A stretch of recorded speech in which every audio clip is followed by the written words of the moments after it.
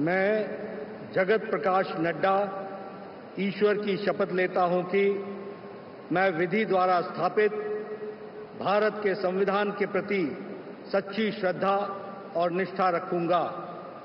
मैं भारत की प्रभुता और अखंडता अक्षुण रखूँगा। मैं संघ के मंत्री के रूप में अपने कर्तव्यों का श्रद्धापूर्वक और शुद्ध अंतकरण से निर्वहन करूँगा।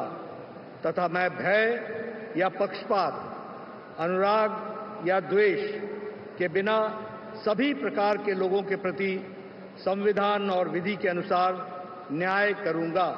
मैं मैं जगत प्रकाश नड्डा ईश्वर की शपथ लेता हूँ कि जो विषय संघ के मंत्री के रूप में मेरे विचार के लिए लाया जाएगा अथवा मुझे ज्ञात होगा उसे किसी व्यक्ति या व्यक्तियों को तब के सिवाय जबकि एक ऐसे एक ऐसे मंत्री के रूप में अपने कर्तव्यों के सम्यक निर्वहन के लिए ऐसा करना अपेक्षित हो, मैं प्रत्यक्ष अथवा अप्रत्यक्ष रूप से संसूचित या प्रकट नहीं करूँगा।